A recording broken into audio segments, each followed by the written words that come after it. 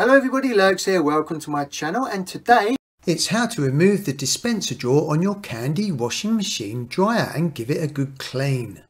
And this is what we'll be covering in this video, removing the dispenser drawer, cleaning inside the drawer area, cleaning the inside of the dispenser drawer, cleaning the drum rubbers, and also there'll be a link on how to clean the filter to prevent an E03 error, and a link on how to keep your washing machine hygienically fresh. Now what you're going to need today is your partner's toothbrush for cleaning. Nugs have you been using my toothbrush for cleaning the washing machine again? And you're also going to need a kettle and a cup to make a lovely cup of tea. Oh. This is the Candy washing machine here and this is the Elise model or Elise and this is a washer tumble dryer. And it's a really good idea to clean the filter on this washing machine every three to six months to prevent an E03 error. And there's a link above now about how to do that. To remove the dispenser drawer, just pull it out until it reaches a point where it won't go any further.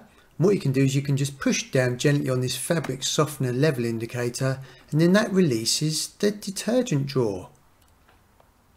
Now this one is in not bad condition, but inside the drawer area here, you can get lots of mold and gunk building up.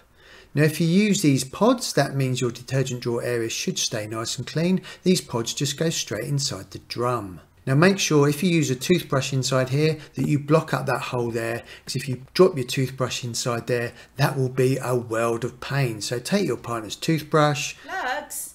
or if you've got a bigger brush that will also be handy. With some hot soapy water just start scrubbing.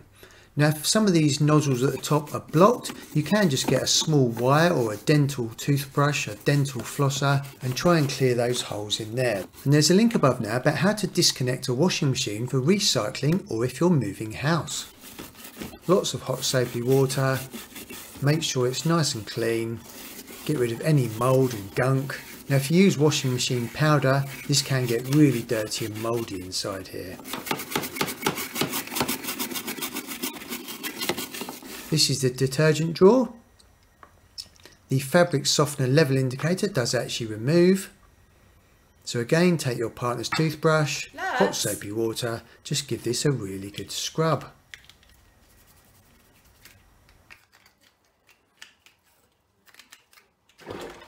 Then take your detergent slash dispenser drawer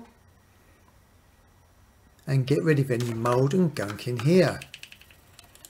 You can use a non-scouring sponge in here. to Just give that a really good clean till it's spotlessly clean and sparkling fresh. Fabulous. Let's just put the level indicator back in. The inside of the dispenser drawer area is nice and clean. Let's just line it up with the grooves and just push it all the way home.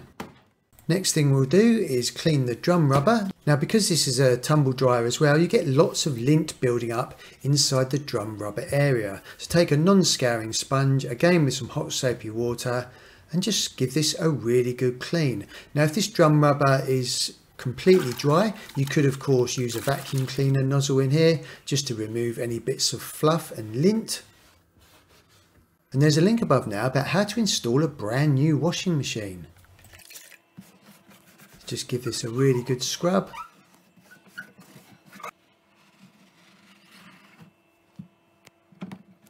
And that is the drum rubber all nicely cleaned and this is what it should look like at the end. Now if you do lots of washes at lower temperatures this won't kill any bacteria and your washing machine could get pretty smelly. So it's definitely worth running a hygienically fresh washing program. And there's a link above now about how to do that.